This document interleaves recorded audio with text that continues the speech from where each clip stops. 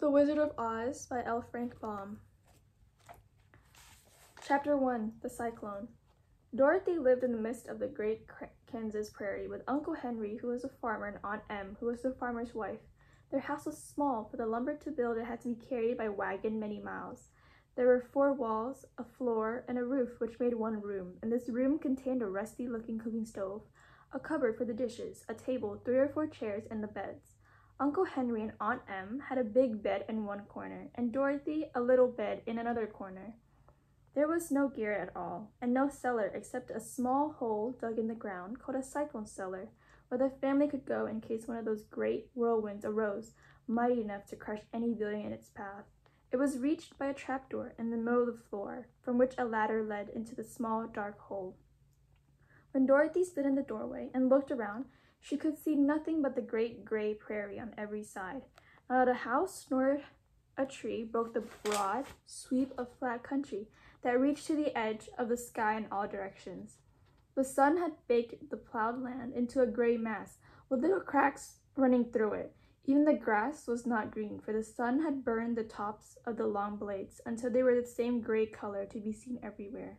Once the house had been painted, but the sun blistered the paint and the rains washed it away, and now the house was as dull and gray as everything else.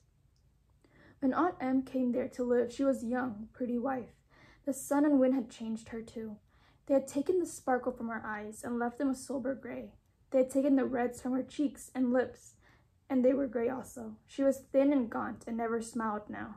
When Dorothy, who was an orphan, first came to her, Aunt Em had been so startled by the child's laughter that she would scream and press her hand upon her heart whenever Dorothy's merry voice reached her ears, and she still looked at the little girl with wonder that she could find anything to laugh at. Uncle Henry never laughed. He worked hard from morning till night and did not know what joy was. He was gray also, from his long beard to his rough boots, and he looked stern and solemn and rarely spoke.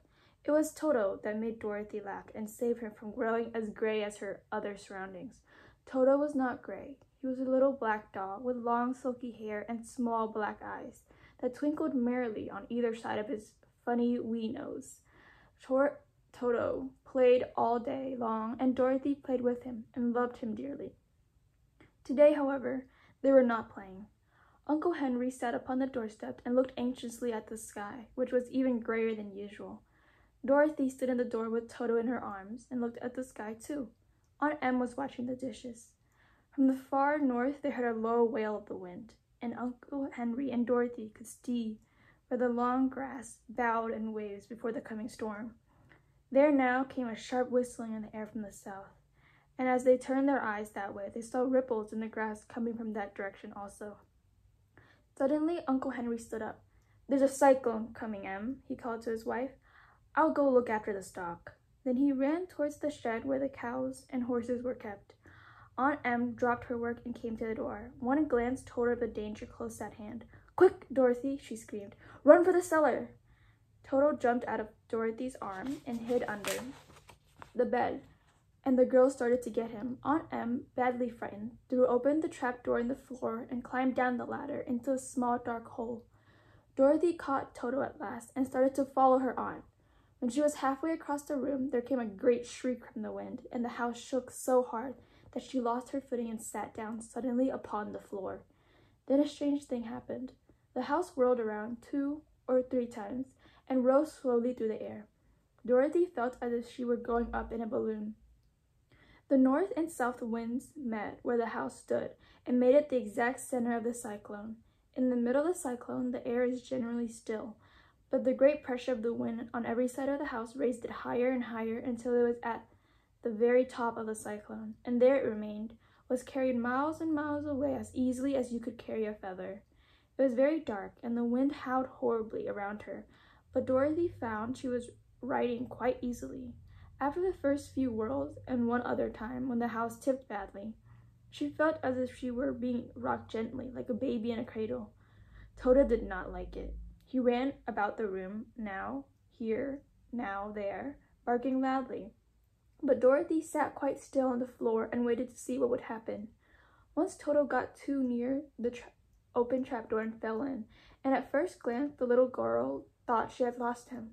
But soon she saw one of his ears sticking up through the hole, for the strong pressure of air was keeping him up so that he could not fall. She crept to the hole, caught Toto by the ear, and dragged him into the room again, afterward closing the trapdoor so that no more accidents could happen. Hour after hour passed away, and slowly Dorothy got over her fright, but she felt quite lonely, and the wind shrieked so loudly all about her that she nearly became deaf. At first she had wondered if she would be dashed to pieces when the house fell again. But as the hours passed and nothing terrible happened, she stopped worrying and resolved to wait calmly and see what the future would bring. At last she crawled over the swaying floor to her bed and lay down upon it, and Toto followed and lay beside her. In spite of the swaying of the house and the wailing of the wind, Dorothy soon closed her eyes and fell fast asleep.